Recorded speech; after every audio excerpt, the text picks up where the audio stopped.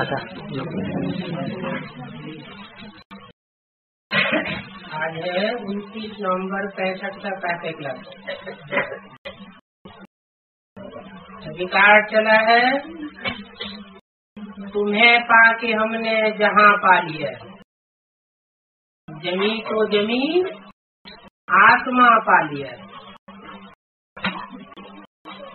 इसी पाके पा लिया है। और क्या पा लिया है? तुम्हें माने किसे? हिंदू को। हम्म? जो बिंदु सुप्रीम सोल है, वो तो सदाकाल है ही है। जैसे हमारी आत्माएँ सदाकाल है ही है। पाने और न पाने की बात ही नहीं। लेकिन वो सुप्रीम सोल जब इस सृष्टि पर प्रत्यक्ष होता है, और ये बात हम समझ लेते हैं बुद्धि से ये वो निराकार सुप्रीम सोल शिव, कोई साकार मुकर्र मनुष्य तन के द्वारा इस संसार में प्रत्यक्ष हुआ है। हमारी बुद्धि में बैठ जाता है। और ऐसे तन के द्वारा प्रत्यक्ष हुआ है। जिस तन की धारण करने वाली आत्मा सारी मनुष्य सृष्टि का हीरो पाठधारी जब ये बुद्धि में बैठ जाता है कि सारी मनुष्य सृष्टि का बीज पिता परमात्मा। हमको प्राप्त हो चुका है। जिसके लिए हम तिरसठ जन्म से भटकते आए। तीर्थों में टिकानों में माथा टेकते आए। और कहीं भी मिला नहीं। वो हमें प्राप्त हो चुका है। जिस बीज के पाने से सारा मनुष्य शक्ति रूपी झाड़ है। जैसे हमारी बुद्धि रूपी मुट्ठी में आ जाता है। बीज को पा लिया तो बीज में सारा झाड़ तो समाया ही हुआ है।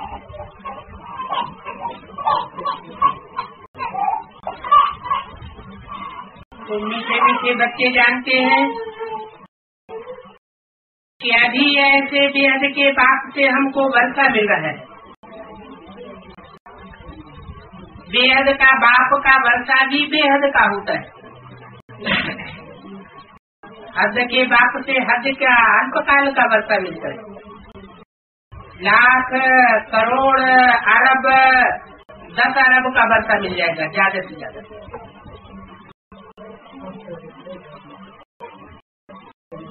और बाप हेल्दी होगा तो बच्चा भी हेल्दी बन जाएगा। लेकिन वो हेल्थ और वेल्थ सदा काल की नहीं हो सकती। एक जन्म के लिए भी पूरी पड़े या न पड़े लेकिन जो बेहद का मनुष्य शक्ति का बाप है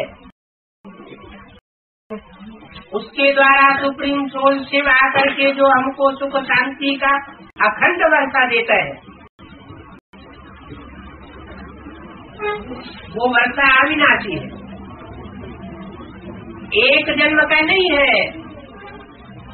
हम चाहे तो उसकी सीमत पर चल करके, पूरा पुरुषार्थ करके अनेक जन्मों का सुख शांति का वर्षा ले सकते हैं। उससे जो सुख का वर्षा मिलता है उसे शास्त्रों में जीवन मुक्ति गई हुई। और जो शांति का वर्षा मिलता है, उसे मुक्ति कहते तो वो आकर के हमको ये मुक्ति और जीवन मुक्ति का बेहद का वर्षा देता है। ये बहुत समझने की बातें हैं। कहावत है परम पिता परमात्मा। धर्म स्थापकों को भेज देते अपना अपना धर्म स्थापन करने के लिए। तो वो धर्म पिताएँ आकर अपना धर्म स्थापन करते हैं। परंतु ऐसे नहीं कि वो इब्राहिम, बुद्ध क्राइस्ट गुरु नानक आदि आकर के कोई हमको बेहद का वर्षा दे देते नहीं। उनसे बेहद के वर्षे की बात ही नहीं निकलती। वास्तव में सृष्टि को सुख शांति का वर्षा देने वाला एक ही बात है। क्राइस्ट की आत्मा सभी का बाप छोड़ ही है। जो सारी मनुष्य शक्ति को वर्षा देगी। सिर्फ़ क्रिश्चियंस लोग उनको अपना पाप मानते हैं तो बेहद का पाप तो नहीं हुआ भले आज इस मनुष्य शक्ति में सौ करोड़ से भी ऊपर क्रिश्चियंस है लेकिन दुनिया की आबादी तो पाँच सौ सात सौ करोड़ है तो सारी दुनिया तो उनको अपना बाप नहीं मानती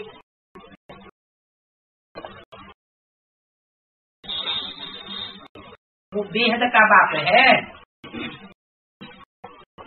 जिसको क्राइस्ट भी गॉड फादर के नाम से जानता था। जो भी धर्म पिताए हैं, वो सब उसे मानते हैं। तो क्राइस्ट भी क्रिश्चियंस का बाप है। तो बना वो क्रिश्चियंस का कौन क्रिश्चियंस को कौन सा वर्षा देते हैं? प्रश्न तो उठता है ना? और वो वर्षा किसको देंगे? वो तो सिर्फ़ अपना धर्म स्थापन करने के लिए आते हैं। धर्म की धारणाएँ स्थापन करते हैं और चले जाते हैं। उनके पीछे दूसरे दूसरे क्रिश्चियंस आते रहते हैं? दूसरे धर्म की आत्माएँ भी आती रहती है। धर्म पिताएँ आते हैं। वो अपने अपने धर्म स्थापन करते हैं। सुख शांति का वर्षा तो कोई नहीं देते। दुनिया तो नीचे गिरती चली जाती है। दुनिया में दुख और अशांति बढ़ती चली जाती है। तो सुख शांति के वर्षे की बात ही नहीं। बाप से वर्षा लेना होता है। समझो समझो इब्राहिम बुद्ध क्राइस्ट आए उन्होंने क्या किया? किसी को वर्षा दिया नहीं। ये वर्षा देना बाप का काम है। वो तो खुद आते हैं। आत्माएँ आती है, जाती है। शरीर छोड़ के चली जाती है। पता नहीं चलता कहाँ चली गई। शक्ति वृद्धि को पाती रहती है। इससे साबित होता है। कि वो आत्माएँ कहीं वापस नहीं चली जाती, इसी दुनिया में जन्म लेती रहती है। और नीचे गिरती रहती तो वर्षा हमेशा क्रिएटर से मिलता है। क्रिएटर कहा जाता है बाप को। और क्रिएशन रचना कहा जाता है बच्चों को। क्रिएटर एक है। लौकिक बात और दूसरा है पारलौकिक बात। लौकिक बाप से एक जन्म का अल्पकाल का वर्षा मिलता है। पारलौकिक बाप से अनेक जन्मों का अविनाशी वर्षा मिलता है। ये बड़ी समझने धारण करने की बातें हैं। धारणा भी उनको होगी। जो औरों को दान करते रहेंगे। ज्ञान रत्नों का दान, गुण रत्नों का दान जो दूसरों को करते रहेंगे तो उनका अपना ज्ञान, अपने गुण स्वतः ही बढ़ते रहेंगे। जो ईश्वर का ज्ञान लेकर दूसरों को नहीं देता, उसका अपना ज्ञान भी नहीं बढ़ सकता। कहते भी है, धन दिए, धन ना कूटे। कोई स्थूल धन तो लुटा दो तो लुट जाता है, खत्म हो जाता है। और ये ज्ञान धन, जो ईश्वर से मिलता है, वो कभी देने से कूटता नहीं है। अभी बेहद का बाप सभी बच्चों को वर्षा देने आया है। बेहद का बाप ही बच्चों को बेहद का वर्षा देते हैं। क्रिश्चियन इस्लामी बहुत ही आज सभी का बाप ही है और सभी कहते हैं गॉड फादर। ने भी कहा है गॉड फादर। फादर को कोई सब भूलते नहीं है। और गॉड फादर एक ही निराकार को कहा जाता है। एक ही का क्या मतलब? और निराकार का क्या मतलब? निराकार समझते हैं जो इन आँखों से देखने में नहीं आता। तो हमारी आत्मा भी तो निराकार है। हमारी ज्योति बिंदु आत्मा जिसकी रोशनी इन आँखों से निकलती है, वो इन आँखों से देखने में तो नहीं आती। वो भी तो निराकार है, जिसकी यादगार में भ्रकुटी के मध्य में बिंदी लगाते हैं।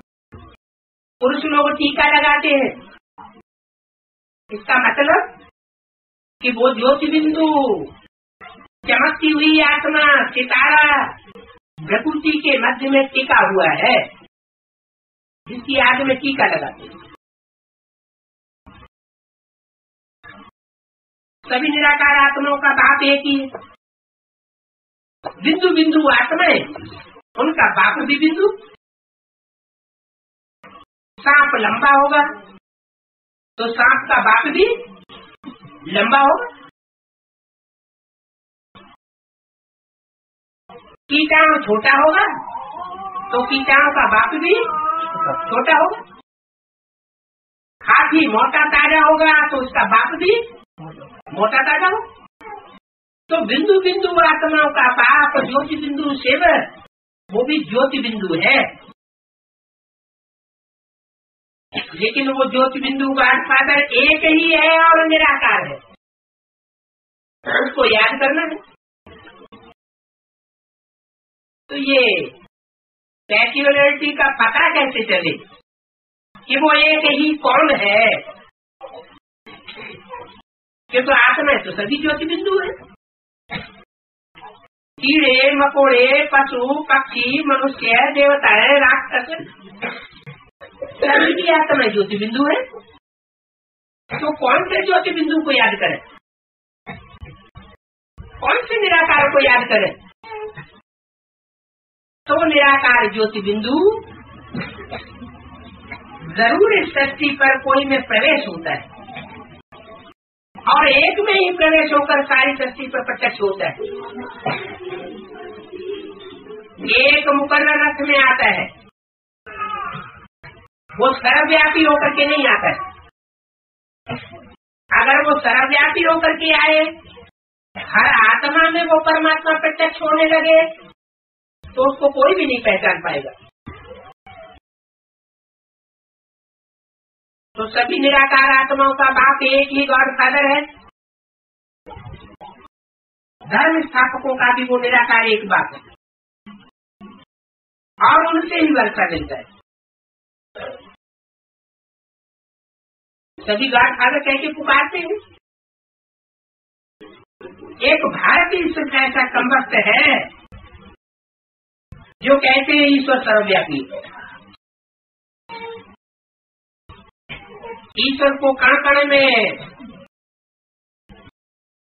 अच्छ जैसे जानवरों में व्यापक समझ लेते अब ऐसा कम्बक्त किसने बनाया? जिन्होंने ये बताया है कि ईश्वर सर्वव्यापी है। खुद ही कम्बक्त बने। ईश्वर सर्वव्यापी है, फिर ईश्वर को याद क्यों करते हैं? सब में व्यापक है तो फिर सबको याद करें। ईश्वर की फिर स्पेशल प्रतिमा बना करके क्यों रखते हैं? साधु लोग साधना किसकी करते हैं? और प्रार्थना किसकी करते हैं? बाप आएँगे तो ये बात पूछेंगे ना। क्रिएटर सबका एक है। देवताओं का भी क्रिएटर एक है। मनुष्यों का भी क्रिएटर एक है। वो ही पते तो पावन। क्रिएटर अविनाशी को नहीं कहा जाता। आत्मा अविनाशी। आत्मा का बाप ज्योति बिंदु परमात्मा अविनाशी। उसे क्रिएट करने की बात नहीं क्योंकि आत्मा क्रिएट नहीं होती। आत्मा बनाई नहीं जाती। आत्मा तो आधार हमारा अविनाशी है। लेकिन आत्मा जब शरीर में प्रवेश करे तो क्रिएटर कही जा सकती है। अब देवताओं को क्रिएट किसने का किया। कलयुग के अंत में तो सारी मनुष्य शक्ति होती है। सब भूल करने वाले मनुष्य हैं। बिगड़े मनुष्य बनता है तो राक्षस कहा जाता है। उन मनुष्यों को राक्षस से देवता बनाने वाला परम पिता परमात्मा है। क्योंकि सचिव में तो सात पावन होते हैं सत्य तो होते हैं। वहाँ झूठा कोई होता ही नहीं। फिर पतित कैसे बनते? ये किसी की बुद्धि में नहीं आता कि पतित कैसे बनते।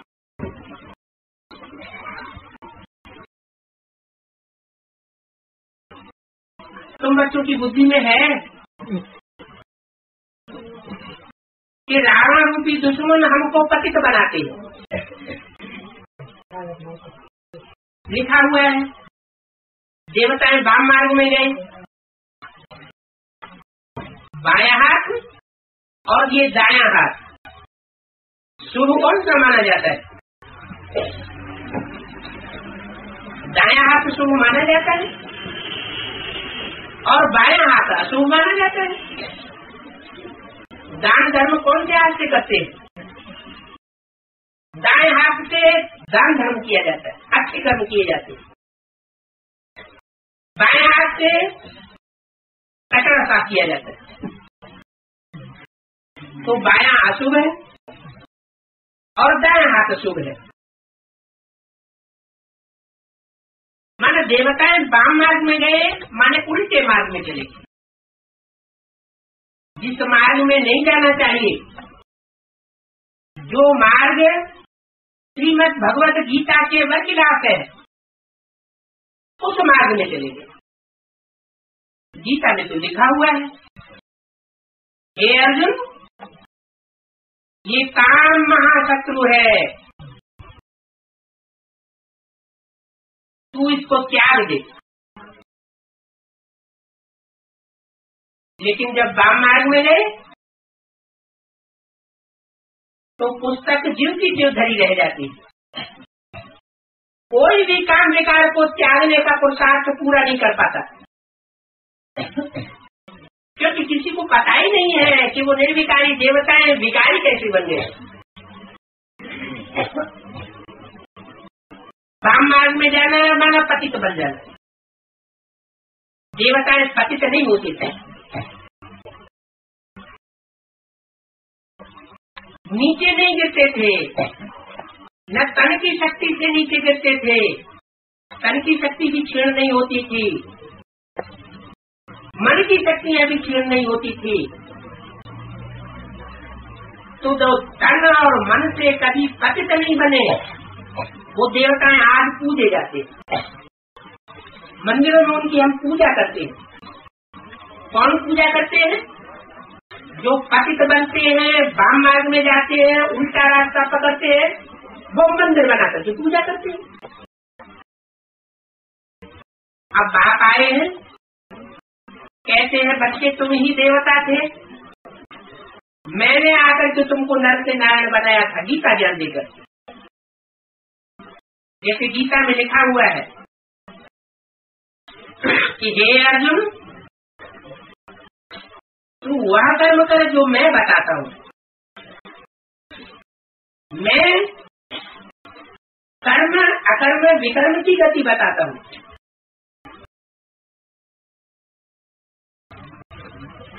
ये कर्म, विकर्म की गति कोई नहीं बता सकता। अगर बताया होता तो दुनिया में कर्मों का सुधार हुआ होता दुनिया नीचे नहीं गिरती। मैं आकर के कर्म की बुरी गति बताता हूँ। तो जो कर्म की बुरी गति समझते हैं, ईश्वरीय ज्ञान को धारण करते हैं, वो मनुष्य से देवता बनते हैं। तो अभी ये पावन दुनिया बन रही है। सारी दुनिया एक साथ पावन नहीं बन सकती। ऐसे कि नहीं कि इस दुनिया में जो भी पाँच सौ, सात सौ करोड़ मनुष्य वो परमात्मा के आने मात्र से ही एकदम पावन देवताएँ बन जा रही दुनिया का कोई भी धर्म स्थापन होता है तो उसमें टाइम लगता है। कोई भी धर्म पिताएँ आए, सौ पचास वर्ष का टाइम लगा। तब धर्म की स्थापना होगी यहाँ तो परमात्मा बाहर आकर के सिर्फ़ धर्म की स्थापना ही नहीं करते। आज सनातन देवता धर्म की राजाई भी स्थापन करके जाते हैं। राजधर्म भी स्थापन करके जाते हैं। और इतना ही नहीं, जो पुराने दुष्ट धर्म चल रहे हैं धर्म के नाम पर आडंबर हो चुके हैं। उन सब का विनाश कराए देते धर्म संस्थापना संस्थापनार्थाय विनाशाय के सब धर्म की स्थापना करता हूँ। और दुष्ट धर्मों का विनाश कर देता हूँ। दुष्ट धारणाओं को मानने वाले कोई भी सृष्टि पर नहीं रहेंगे।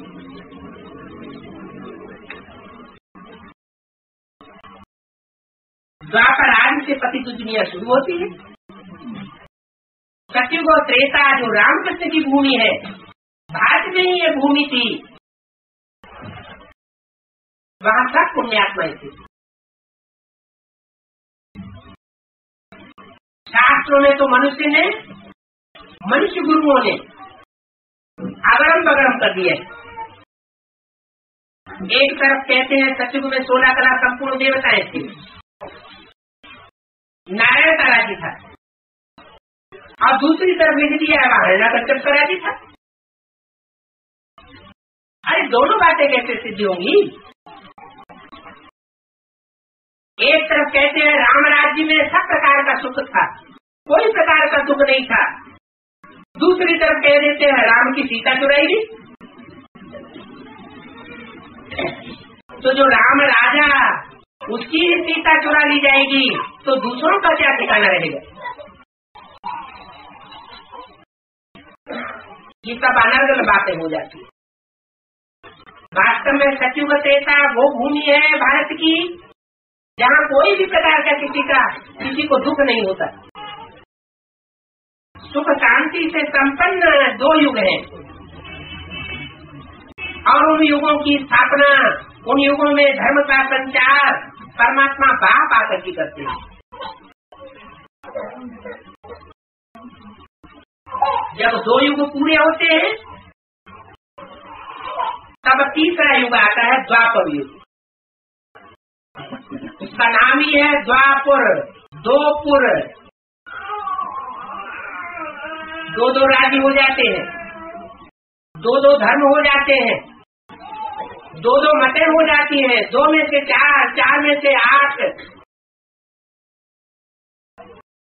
दुनिया में झगड़े पैदा होते रहते अनेक भाषाएँ हो जाती हैं। कलयुगांत में आते आते कलह, क्लेश, चरम सीमा को पहुँच जाता है। सारे ही धर्म पिताएँ आकर के अपना करिश्मा दिखा के चले जाते इस धरती पर कोई भी सुख शांति स्थापन नहीं कर पाता। सुख की दुनिया नहीं बना पाता। सब हाथ उठाए देते हैं। गांधी जी ने भारत में कितना प्रयास किया। राम राज्य लाएँगे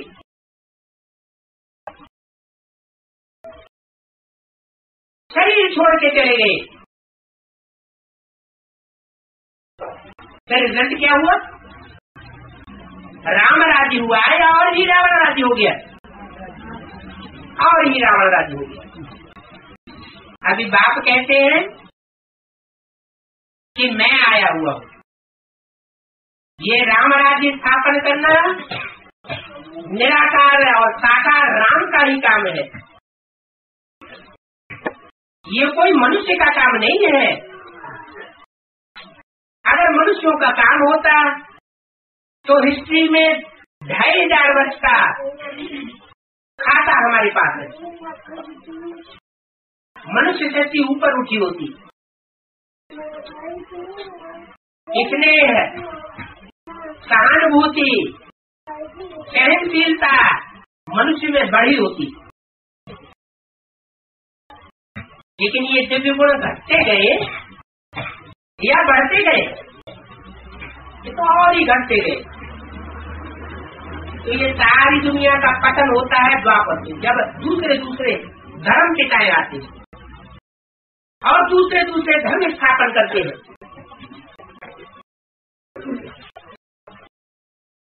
ईश्वरीय राज्य और आसुरी राज्य। कहा तो जाता है ना? सचिव त्रेता है। ईश्वर का स्थापन किया हुआ राज्य और द्वापर कलयुग है आसुरों के द्वारा स्थापन किया हुआ राज्य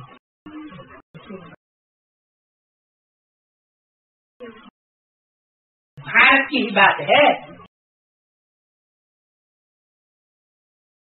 रावण को भारत में ही जलाते हैं। दूसरे देशों में रावण को नहीं जलाते। क्यों?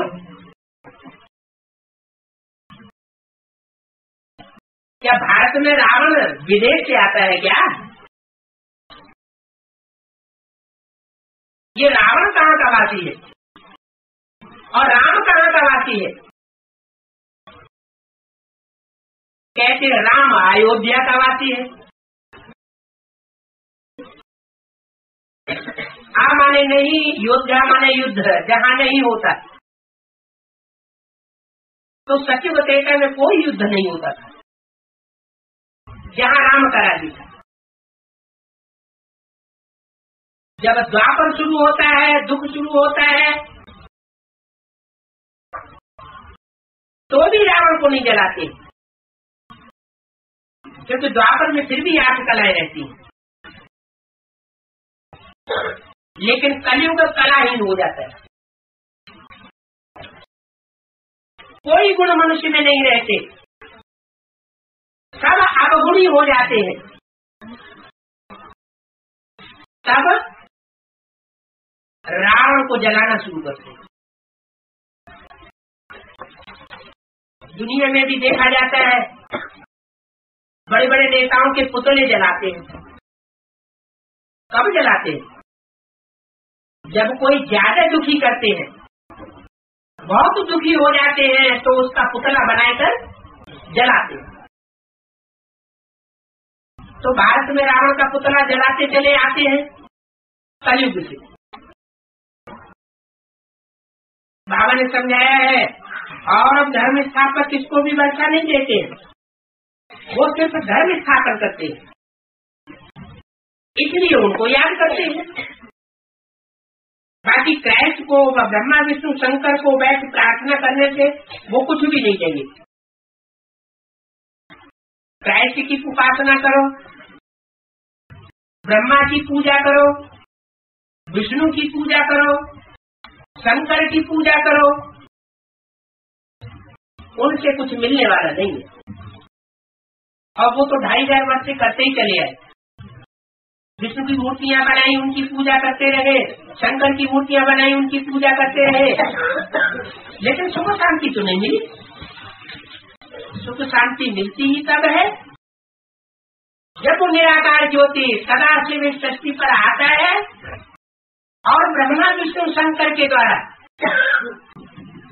अपना कार्य शुरू करता है तो उनको सन्मुख आना पड़ता है। मुख के सामने आना पड़े, हाजरा हुजूर होना पड़े प्रेजेंट होना पड़े। कृष्ण में परमात्मा आते हैं। ऐसा तो दुनिया में कोई नहीं मानते। हाँ ये कहते हैं कृष्ण भगवान था और वो अर्जुन के रथ में आया था। तो समझ लेते हैं कि वो कोई स्थूल रथ हुआ होगा। वास्तव में शरीर को ही रथ कहा जाता है। इस शरीर में इंद्रियों रूपी घोड़े हैं। इन इंद्रियों को मनुष्य कंट्रोल में नहीं रख पा रहा है। जब इंद्रिया कंट्रोल से बाहर हो जाती है, कोई के कंट्रोल में नहीं रहती। तब वो सुप्रीम सोल शरीर रूपी रथ में प्रवेश करता है। और इन इंद्रियों रूपी घोड़ों को कंट्रोल करना सिखाता है। राजयोग के द्वारा। ऐसा ज्ञान देता है। साहब कहते हैं, मैं तुम बच्चों को वर्षा देने के लिए एक ही टाइम पर आता हूँ। शास्त्र में तो लिख दिया सतयुग में आता है। नरसिंह का अवतार लेता है। हरण्या कश्यप को मारता है में राम बन के आता है, रावण को मारता है। द्वापर में कृष्ण भगवान बन के आता है। और कौरवों का यादवों का संहार करता है। अरे, कृष्ण भगवान बन करके द्वापर में आए। और द्वापर के अंत में महाभारत युद्ध कराने के बाद रिज़ल्ट निकले कलयुग की स्थापना। तो भगवान का पापी कलयुग की स्थापना करने आता है क्या? भगवान पाप की स्थापना करने आएगा? नहीं। ये सब बातें मनुष्य गुरुओं ने लिखी है। बाप आकर के बताते हैं। मैं तो आता ही तब हूँ जब ये सृष्टि पूरी पतित हो जाती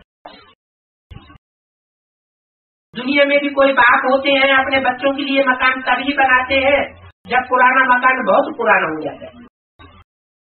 जब तक रिपेयरिंग से काम चल सकता है, तब तक उसमें रिपेयरिंग करते रहते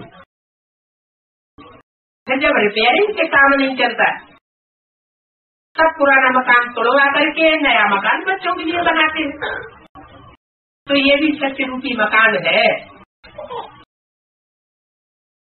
ये सत्य रूपी मकान जब पुराना होना शुरू होता है द्वापर से तो इब्राहिम बुद्ध क्राइस्ट गुरु नानक आकर के समय समय पर, स्थान स्थान पर इसकी रिपेयरिंग का काम कराते हैं।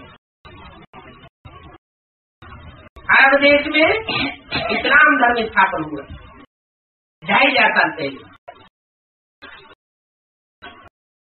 यूरोपीय देशों में क्रिश्चियन धर्म स्थापन हुआ क्राइस्ट के द्वारा, दो हज़ार साल पहले। चीन, जापान आदि पूर्वी देशों में महात्मा बुद्ध के द्वारा बौद्ध धर्म स्थापन हुआ।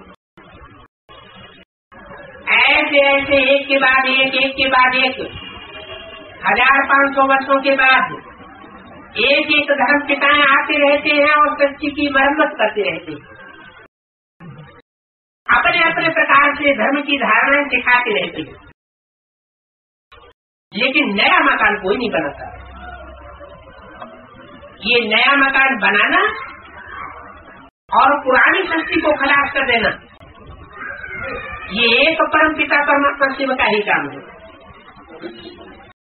इसलिए सभी धर्म स्थापक आज भी उस परम पिता परमात्मा को याद करते तो उनको सन्मुख आना पड़े। जैसे धर्म पिताएँ आते हैं, अपनी धर्म की स्थापना करने तो अपने फॉलोअर्स के सामने आते हैं ना। तो परमात्मा बाप भी, जो निराकार ज्योति है, जिस निराकार ज्योति का बड़ा लिंग बनाते हैं, पूजा करते हैं, पूजा करने की सुविधा के लिए उस बिंदु का बड़ा आकार बनाते हैं, शिवलिंग। इतना बड़ा है नहीं। हमारी आत्मा की तरह वो भी ज्योति बिंदु है। वो भी सितारा है। जैसे हम आत्मा इस धरती के चैतन्य सितारे हैं। वैसे वो परमात्मा भी सितारा है।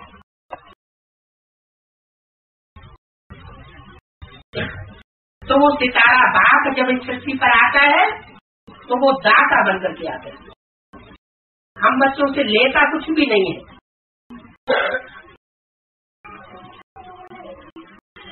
बाप कहते हैं,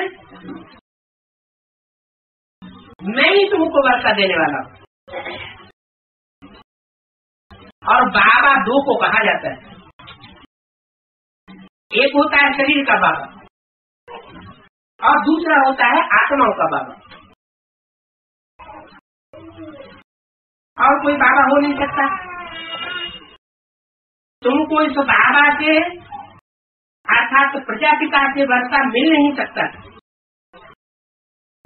जो शरीरों का बाप है, जो भी मनुष्य शक्ति की पाँच सौ करोड़ है, मनुष्य आत्माएँ हैं, मनुष्य हैं, उन मनुष्यों को जन्म देने वाला एक बीज है प्रजापिता। उससे तुमको वर्षा नहीं मिल सकता। क्राइस्ट से भी वर्षा नहीं मिल सकता, बुद्ध से भी वर्षा नहीं मिल सकता। वर्षा तभी मिलता है जब वो सुप्रीम सोल प्रजापिता में प्रवेश करता है। तो साबित हुआ, एक शिव से ही वर्षा मिलता है। उस शिव की बिंदी का नाम ही शिव है। वो ज्योति बिंदु जब साकार शरीर में प्रवेश करता है तो शिव बाबा कहा जाता है। नहीं तो वो बिंदु बिंदु आत्माओं का सिर्फ़ भाग है, दूसरा कोई संबंध नहीं बनता। संबंध तब बनते हैं जब वो साकार में आता गाते हैं तुम्हें माता च पिता त्वमेव त्वमेव च सखा त्वमेव। त्वमेव सर्वम मम देव देव सब प्रकार के संबंध उस परमात्मा के साथ जोड़ते। तो प्रैक्टिकल में आया हुआ होगा, तभी तो जोड़ेंगे। कोई सिर्फ़ कहने की बातें थोड़े ही है ब्रह्मा, विष्णु, शंकर भी उससे वर्षा लेते। इससे सुप्रीम सोल शिव बाप थे वो दाता है। सर्व का सदगति दाता, सर्व का मुक्ति जीवन मुक्ति दाता। इसलिए पहले पहले कोई को भी बाप का परिचय देना चाहिए। उसके साथ आत्मा का परिचय देना ही पड़े। बाप है तो बाप के बच्चे भी होंगे। वो बाप है, हम बिंदु बिंदु आत्मा पर। और हम बिंदु बिंदु आत्मा उसके बच्चे हैं। तो कोई को भी ज्ञान सुनाना शुरू करना है तो सबसे पहले क्या बताना है? कि तुम ज्योति बिंदु आत्मा हो, तुम ये विनाशी शरीर नहीं हो। ये शरीर तो आज है और कल खराब हो जाएगा। तुम ज्योति बिंदु आत्मा फिर भी बनी रहेंगी। तो तुम ज्योति बिंदु जो आत्मा हो, अपने स्वरूप को जानो और अपने बाप को पहचानो। जब अपने बाप की पहचान हो जाएगी कि वो सुप्रीम सोल ज्योति बिंदु है, जिसकी यादगार सोमनाथ मंदिर में बनाई गई थी। सोमनाथ मंदिर में चारों तरफ़ की दीवार में चुंबक जड़ा हुआ था। और बीच में निराधार शिवलिंग लटक रहा था। उस लिंग में हीरा जड़ा हुआ था। लाल पत्थर का। लोहे से मिक्स हुए पत्थर का। लिंग था। और बीच में हीरा था। तो वो लिंग किसकी यादगार हुई और वो हीरा किसकी याद यादगार हुई हीरा है शिव ज्योति बिंदु की यादगार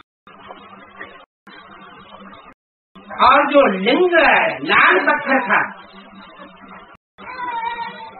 वो शरीरधारी की यादगार है, जो ज्ञान का सागर बनकर के संसार में प्रत्यक्ष होता है।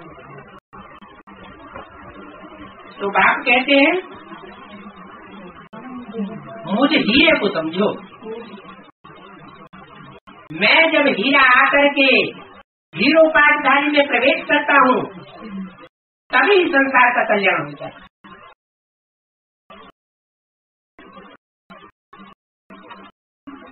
इसलिए पहले पहले कोई को पाप का परिचय देना पड़े। यूँ तो कोई बड़े बुज़ुर्ग को भी बाबा व पिताजी कह देते। में बाबा कोई नहीं है। बाप एक लौकिक और दूसरा पारलौकिक होता है। कहेंगे, ये ब्रह्मा की जिसमानी बात है। क्योंकि ये भी एडाप्ट करते हैं। हम तुम ब्रह्मा को बाबा कहते हो, परंतु वर्षा उनसे मिलता है। ब्रह्मा से वर्षा नहीं मिलता, उनसे मिलता है। उनसे माना? जो संसार में जो रूप परमात्मा बाप के रूप में प्रत्यक्ष होने वाला उनसे ही वर्षा मिलता है। और वो कौन सा वर्षा है? गति संगति का वर्षा है। जो इस समय भी तुम बच्चों को देते हैं, माना कलयुग के अंत और सतयुग के आग में तुमको वर्षा मिलता है। और जब वर्षा मिलता है तो उसकी निशानी है उसकी पहचान है? सब दुखों के बंधन से छूट जाती है। दुर्गति से छूट जाते हैं। अर्थात जीवन जो बंधन में महसूस करते हैं, उससे छुटकारा मिल जाता है। इस समय भारतवासी और सारी दुनिया सब रावण के बंधन में। रावण ने सबको बाँध रखा है। जैसे सात जेल में पड़ी हुई। आत्माएँ जो पहले पहले आती है, वो पहले जीवन मुक्ति, फिर जीवन बंध में चली जाती है। कहाँ से आती है? कहीं से तो आती होगी। नहीं तो इस दुनिया की जनसंख्या क्यों बढ़ती जाती है? मनुष्यों की ही जनसंख्या नहीं। कीट, पशु, पक्षी, पतंगे, सबकी जनसंख्या में वृद्धि हो रही है। तो ज़रूर ये आत्माएँ कहीं, इस लोक से बाहर कोई दूसरा लोक है, जहाँ से आती उस लोक को अंग्रेज़ लोग कहते हैं सुप्रीम एबोर्ड सोल वर्ल्ड मुसलमान लोग कहते हैं अर्श। सातवां आसमान पहले कहते थे, खुदा अर्थ में रहता है। अर्थ में नहीं रहता। अभी तो मुसलमान भी कहने लगे खुदा जगह जर्रे में। जब उसको हर जगह ढूंढा, कहीं मिला नहीं तो कहने लगे वो सब में, हर जगह व्यापक। तो बाप कहते हैं कि ये सब आत्माएँ परम धाम से आती है। सूरज चाँद सितारों की दुनिया से भी परे एक ऐसा धाम है जिसका गीता में वर्णन है। एक श्लोक आया है। न वहाँ सूरज चाँद सितारों का प्रकाश पहुँचता है। जहाँ जाकर के आत्माएँ वापस इस दुख की दुनिया में नहीं लौटती वो मेरा परम धाम है। उस परम धाम की तुम बिंदु बिंदु आत्माएँ भी रहने वाली हो। और मैं सुप्रीम सोल बात भी वहाँ का रहने वाला हूँ। तुम इस शक्ति पर आते हो तो थोड़ा थोड़ा करके आते हो। में थोड़ी आत्मा उतरती। त्रेता में और ज़्यादा उतरती। द्वापर में फिर और ज़्यादा उतरती है। और कलयुग के अंत तक सारी आत्माएँ मनुष्य शक्ति की नीचे उतर आती है। जब सबके उतरने का टाइम होता है, तब वो सुप्रीम सोनी शक्ति पर आता है और आकर के सब आत्माओं को अपने स्वरूप का परिचय देता है कि तुम ज्योति बिंदु आत्मा हो स्टार हो, तुम धरती के सितारे हो। वो सितारे तो आसमान में जो चमकते हैं, वो जड़ है। और तुम चैतन्य सितारे हो। चैतन्य कहा जाता है, चलते फिरते बोलते को।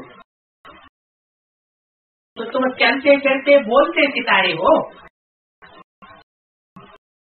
ये परिचय दे करके आत्माओं को स्वरूप में स्थिर कराता है कि तुम अब ये देह भान छोड़ दो।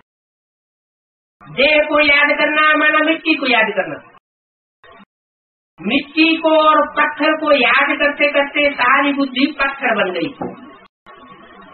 यहाँ तक पत्थर बुद्धि बन पड़े हैं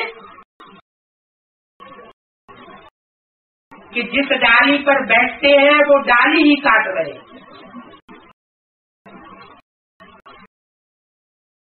दुनिया में एटम बम बनाए रखे हैं। इस दुनिया में रहना भी है। है एटम बम बना करके उस दुनिया को खलास करना चाहते हैं। ऐसी पत्थर बुद्धि बन गई बन, बन गई। ऐसे पत्थर बुद्धियों को परमात्मा बाप ज्ञान दे करके फिर पारस बुद्धि बनाए तो मनुष्य को देवता बनाना ये परमात्मा बाप का काम है। लेकिन जो सृष्टि पर आत्माएँ पहले पहले सत्युग में आती है, वो श्रेष्ठ आत्मा होती है। सत्युग त्रेता में सिर्फ़ देव आत्मा ही सृष्टि पर आती है। उस समय भारत ही सिर्फ़ होता है धर्मखंड। दूसरे धर्मखंड नहीं होते। ये अमेरिका, ये ऑस्ट्रेलिया, ये अरब देश दूसरे दूसरे जो धर्म खंडों के देश हैं, वो ढाई हज़ार साल पहले इस कश्ती पर नहीं थे सब समुद्र में डूबे हुए थे। अभी भी ऐसा ही होगा। ये एटम बम जब फटेंगे तो पृथ्वी का बैलेंस टूट जाएगा। बड़े बड़े भूकंप आएँगे। और उत्तरी ध्रुव और दक्षिणी ध्रुव में जो सैकड़ों मील ऊँचे पहाड़ है, बर्फ़ के जले हुए। वो पहाड़ पिघल जाएँगे। एटम बमों की गर्मी से।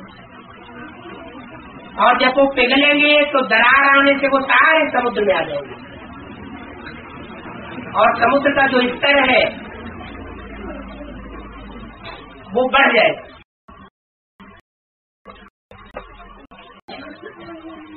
जब समुद्र का स्तर बढ़ेगा तो ये अफ्रीका, ये अमेरिका, ये ऑस्ट्रेलिया, ये अरब देश, जो पहले थे ही नहीं, वो सब समुद्र में समझ जाएँगे। अब सिर्फ़ भारत खंड रह जाए जहाँ भगवान आती। कोई कारण होगा। भारत में ही भगवान क्यों आते हैं? ज़रूर है। भारत देवभूमि थी। देवताओं का देश है। देने वालों का देश है। ये माता पिता का देश कहा जाता है। माता पिता बच्चों को देते हैं, लेने की इच्छा नहीं करते। इस भारत देश में भगवान आया हुआ है। वो आकर के रास्ता बता रहा है। इस दुनिया के विनाश होने से पहले अपना वर्षा मुझ बाप से दे जो लेंगे, जो पुरुषार्थ करेंगे, वो फ़ायदे में एक जन्म के फ़ायदे में नहीं, अनेक जन्मों का फ़ायदा हो जाएगा।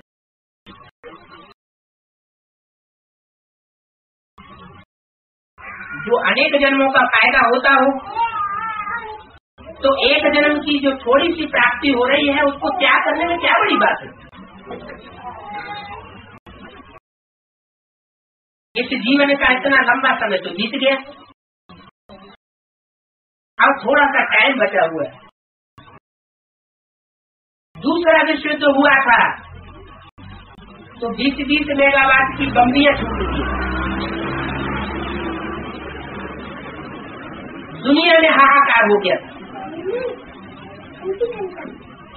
अभी तो हज़ारों, हज़ार मेगावाट के एटम बम तैयार हो चुके हैं।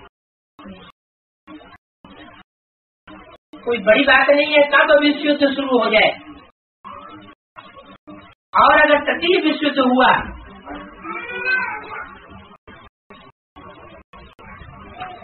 तो सारे ही देश इस युद्ध में कूद पड़ेंगे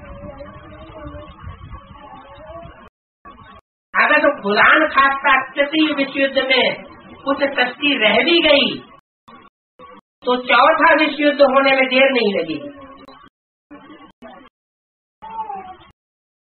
जिसमें ये सारी एटमिक दुनिया खराब हो जाएगी। अभी टाइम ज़्यादा नहीं है। अभी ईश्वर का कार्य भी पूरा हो चुका। जो ज्ञान देना था वो सारा ज्ञान दे दिया। अब समझाने के पास, लिए परमात्मा के पास कुछ रहा नहीं। तो अभी समय है। शांति के टाइम में अच्छी पढ़ाई होती है।